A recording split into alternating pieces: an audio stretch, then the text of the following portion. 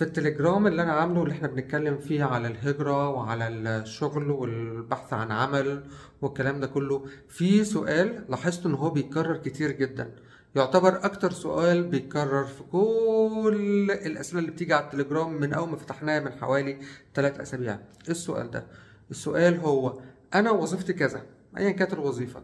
طب أنا عاوز أقدم على هجرة لأستراليا طب وظيفتي مطلوبة ولا لأ؟ وطبعا إحنا بنجاوب بنفس الإجابة بالظبط. الإجابة كالآتي. في link هحطه أنا في ال description. ال link ده فيه قائمة الوظائف المطلوبة في استراليا.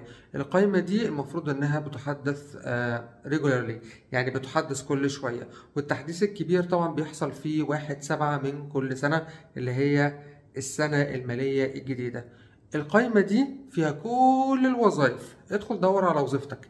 الجميل في الموضوع إن الموقع الحكومي للهجرة الأسترالية حاطط لك طريقة للبحث أو search تقدر إنك أنت من جوه تدخل تكتب وظيفتك. خلينا ناخد مثلا مثال.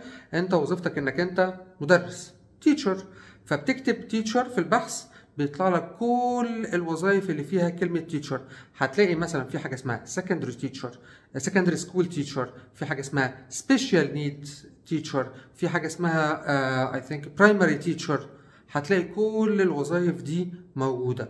الجميل في الموضوع إن هو مش بيقولك بس الوظيفة مطلوبة ولا لأ أو في قائمة الوظائف المطلوبة ولا لأ.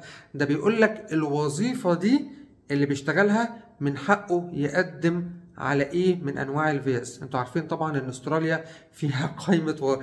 قائمة فيز كتيرة أو تأشيرات إقامة كتيرة جدا. 189 و190 ومش عارف كام وأرقام كتيرة جدا أنا مش حافظها الصراحة.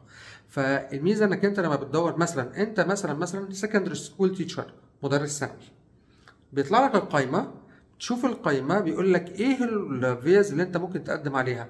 189 مثلا 190 whatever كام whatever إيه. وكل فيز من الفيز دي لو ضغطت عليها بيبان لك بقى مميزات الفيزا دي شروطها طلباتها الكلام ده. الميزة برضو في نفس ال link ده لما مثلا بتقول إنك أنت secondary teacher أو إنك أنت بتقول مثلا إنك مدرس ثانوي بيقول لك تحت كده في الآخر لما تنزل إيه هي ال organization أو إيه هي المؤسسة اللي أنت المفروض إنك بتقدم عندها عشان تعمل حاجة اسمها qualification and experience assessment اللي هو بالعربي بتاعنا وباللي إحنا عارفينه بالدرجة اللي هو انك انت تعمل معاهد معادلة لشهادتك وخبراتك. فالميزة ان ال link ده بيجيب لك اللي انت عاوزه من الآخر. بالمعنى المصري كده الزتونة أو الخلاصة. انت لو حطيت وظيفتك ولقيتها طلعت هيطلع لك إيه الإقامات أو الفيز اللي أنت ممكن تقدم عليها. وتحت خالص بيقول لك إيه ال assessment body أنا بقولها بال English معلش بالإنجليزي. إيه ال assessment body المفروض إنك أنت تبتدي تودي لهم ورقك وشهاداتك وخبراتك وتشوف طلباتهم إيه عشان تقدر إنك أنت تعمل معادلة وتقدر إنك أنت تبتدي تقدم على الهجرة لاستراليا بس كده اهو. أنا هحط ال link ال link سهل جدا. بعد كده أنا بحاول إن أنا أقل أشوف اللي هو الأسئلة اللي بتتكرر كتير وهجاوبها في فيديوهات. ده فيديو من الفيديوهات. عاوز تدور على وظيفتك؟ في link. هتحط فيه اسم الوظيفة هيطلع لك الوظيفة موجودة ولا لأ. لو مش موجودة خلاص معناها إن أنت وظيفتك مش متاحة. لو وظيفتك موجودة استراليا بتقول لك انت لو وظيفتك دي فانت من حقك تقدم على الفيز ده وده وده. لو ما لقيتش الفيزا اللي انت عاوزها معناها ان وظيفتك ما ينفعش تقدم على الفيزا ده. يعني كان في واحد بيسالنا على التليجرام مثلا أو بيسأل على التليجرام هو آه sports coach يعني مدرب رياضة مدرب رياضة آه يعني فمش عارف أنهي حاجة مش فاكر بالظبط. فأنا لقيت له إن في حاجات خاصة بالرياضة مدرب رياضة مش عارف بتاع حاجات sports معينة يعني. معلش أنا بتكلم إنجليزي آسف جدا.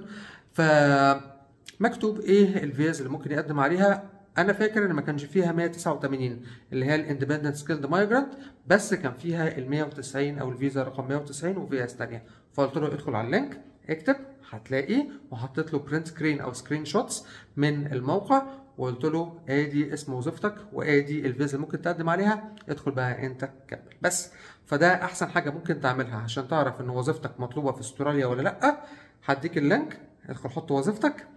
شوف الفيزا اللي ممكن تقدم عليها وادخل على الفيزا من اسمها هتعرفها طبعا هي إيه.